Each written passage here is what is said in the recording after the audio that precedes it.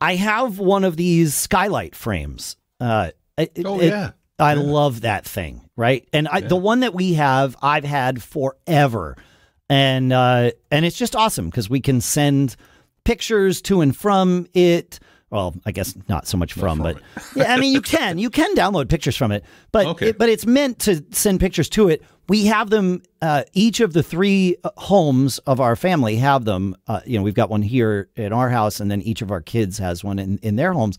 And we get to send each other pictures, and it's really cool to just walk into the kitchen and see new pictures on the wall from you know uh, Skylar over in in uh, in Italy, or you know Lucas from wherever you know he's on the other side of the state, but you know wherever it's just a nice thing, we do it for each other. Um, I noticed that I had broken it. And in, by broken it, I mean that it was complaining about not being able to connect to Wi Fi. And it was like, all right, so I go through the thing, I type in the password, and I can I get the notification from whatever Wi-Fi, you know, this time the Synology app saying, oh yeah, a new device is joined, but it doesn't. The device doesn't think it's joined. It doesn't say that it can't ah. join, but it also doesn't say that it has successfully joined. It's in this like limbo. One of my Eero networks, the one in the house, had WPA3 enabled, just like my Synology network does. The Eero network in the office does not have it enabled. And I don't know why that is, but maybe I never went into Eero Labs and turned it on for that one, right? Okay. Never thought to.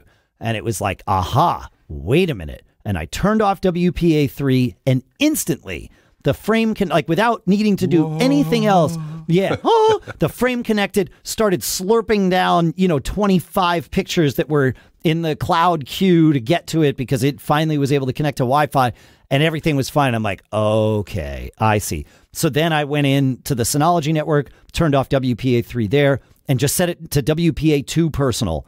Um, and and and it was able to connect to that, no issue whatsoever. I sent Lucas a text. I'm like, I know what your problem is with your skylight frame, man.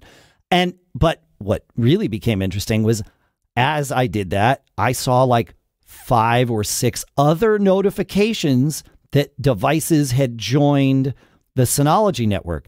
A, a smart bulb that I had, a hmm. smart outlet that I had, things like that, that had been also acting a little bit janky, just boom, came right online, no problem. So, what I learned is that WPA3 is not meant for us to be using right now. If- If we, especially if we have any older smart home devices, and by Yeah, older, internet. It's- yeah, older, Internet of Things. Six months. yeah, I, I mean six months. Like some of these aren't that old. Like I, I definitely the one of the smart bulbs is a GE Cync bulb, and that I, I know that I, you know, got and it was a brand new product within the last year. So and and to be fair, you know, Eero has one switch for WPA3, and it's not entirely clear what it does.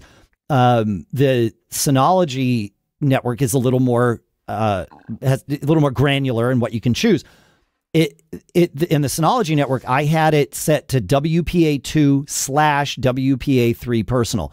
It turns out that is what the Eero setting does. So it doesn't exclude WPA2 stuff, but it it in theory allows both to connect. The the re- actual reality is that some devices, even when the the access points are in WPA2 slash WPA3 mode, they still don't connect because the WPA3 thing sort of gets in the way and they get stuck in this limbo that I described. So, uh, I it is now my blanket advice to not enable WPA3 on any of your access points, especially at home, unless you know that all of your devices, current and future, are going to work with WPA3. And that's that's a that's a tough sell today. There you go.